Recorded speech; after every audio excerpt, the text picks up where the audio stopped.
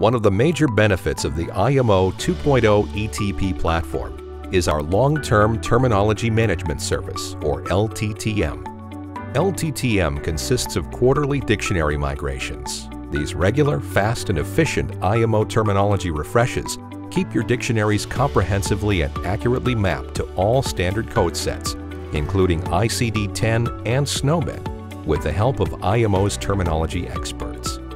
Throughout the LTTM migration process, IMO experts review any terms that have been added to your dictionaries and map, as well as any terms that are unmapped. This focused approach ensures all terms are properly mapped to the right codes for reimbursement.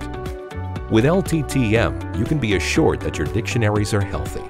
To learn more about dictionary health and how it impacts your organization, download our white paper, Why the Health of Medical Dictionaries Matters, with the link you'll see at the end of this video. IMO's terminology experts will not overwrite anything you previously mapped during this LTTM process, which begins when you send an updated NPR report to IMO through a secure site.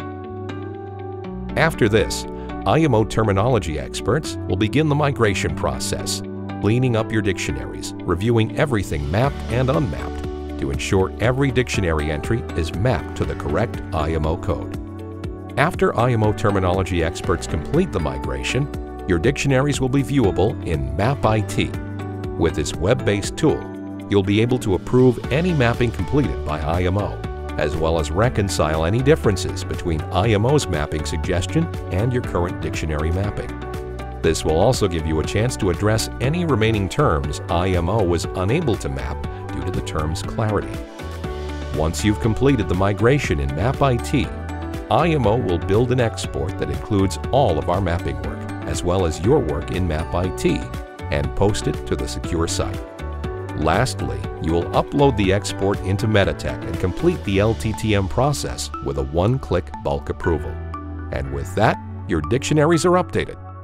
Check out the next video in our IMO 2.0 ETP series to learn more about working in MapIT.